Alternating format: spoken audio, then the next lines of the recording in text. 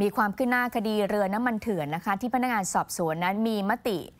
ในการตั้งคณะกรรมการสอบสวนวินัยร้ายแรงตำรวจ 3 นายค่ะ ที่ทำหน้าที่เป็นผู้ที่เฝ้าเรือของกลาง ขณะที่ภายในสัปดาห์นี้ก็เตรียมขอสารออกหมายจับเสียโจ้แล้วก็ผู้ที่เกี่ยวข้องในคดี ยึดเรือน้ำมันเถื่อน แล้วก็คดีเรือน้ำมันเถื่อนของกลางสูญหายด้วย ก่อนที่จะมีการประสานระหว่างประเทศเพื่อติดตามตัวเสียโจ้กลับมาดำเนินคดีในไทยค่ะ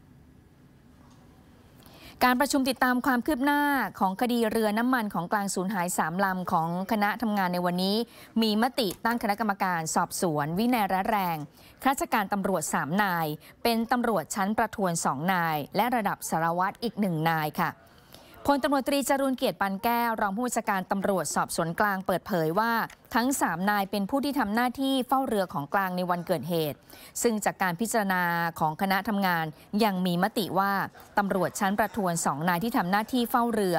เข้าข่ายมีความผิดอาญาตามมาตรา 157 ด้วย ซึ่งตำรวจน้ำก็จะส่งตัวแทนเข้ามาร้องทุกข์กล่าวโทษตามขั้นตอนค่ะตอบแล้วนะครับในเมื่อความบกพร่องที่มันเกิดเนี่ย คุณไม่ทำหน้าที่ คุณละเว้น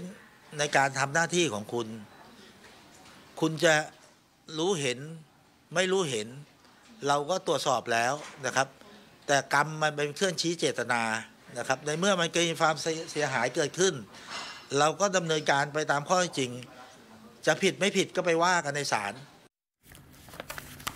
รองผู้บัญชาการตำรวจสอบสวนกลางเปิดเผยว่าในกลุ่มตำรวจที่ทำหน้าที่ในวันเกิดเหตุเนี่ยมีทั้งหมด 9 นาย นอกจากการสอบสวนก็ยังมีการตรวจสอบข้อมูลในโทรศัพท์